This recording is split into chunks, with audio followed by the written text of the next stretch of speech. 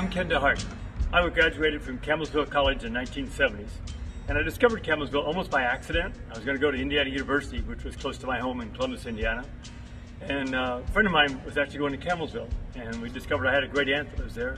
So my parents put together some money and helped me get to, to Campbellsville College. We, I was the first one in, in our family to ever go to college, and it was pretty special. Learning how to be with around people and the great group of guys I met. I lived in Carter Hall initially, then gradually South Hall, and then eventually I lived in Lebanon House with all the other guys.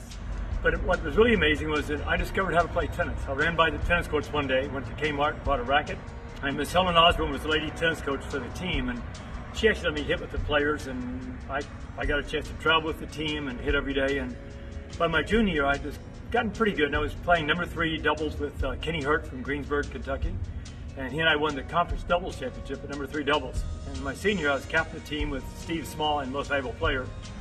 But the teachers were special. It was a small school, a small environment, and they made you feel personal. And that's what I really liked about Campbellsville College at the time. Thank you, Campbellsville College. Hey, this is uh, Tony Turner. I'm from the class of uh, 1970, and uh, uh I had all good experiences. Well, on some, maybe my teacher, you know, might not think so. But uh, anyway, uh, I really enjoyed my time at Campbellsville, and uh, I would recommend it to anybody. Hi, I'm Gwen Thompson, class of 1970, Campbellsville College it was then, and I'm here this morning with Steve Small at Club Fitness. Well, hello everybody, I am Steve Small, class of 70, Hi, I'm Gary Watson, and I've known Gwen and Steve most of my adult life, and uh, I'm still trying to raise them the best I can. And I loved every bit of Campbellsville College. What an experience. Lived in a place called Lebanon House. Uh, that was sometimes known as uh, the boys of Campbellsville. Um, also, Gwenny right here who I've known since then. She was our representative one year for Homecoming Queen, so we go back a long way.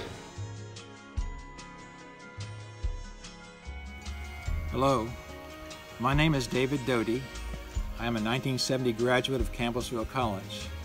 I earned my Bachelor of Arts degree with a major in English and a minor in psychology. During my first year as a member of the Upsilon Kappa chapter of Sigma Tau Delta, our fraternity built a float for the homecoming parade. It was a huge pumpkin created from chicken wire. It was attached to a borrowed surrey and was large enough for Cinderella to ride inside it. It was painted a pretty pumpkin orange. On the day of the parade, as the festivities were beginning in downtown Campbellsville, one of the area bands began performing just ahead of our entry. The horse that was to pull the surrey with our pumpkin attached became spooked and had to be unhitched from our float. I thought for a few moments that we might have to change our float configuration to accommodate the headless horseman of Sleepy Hollow. Four of us became the human horses and we successfully pulled the float through the parade route. I joined the Campbellairs Glee Club at the beginning of my freshman year and sang second tenor in the club my freshman and sophomore years. We were a performing group and sang in a number of local churches and traveled through a number of states while singing on tour. It was an awesome organization and a rewarding experience for me. I received a great education in a Christian environment and am thankful and proud that I chose to attend and graduate from Campbellsville College. Go Tigers!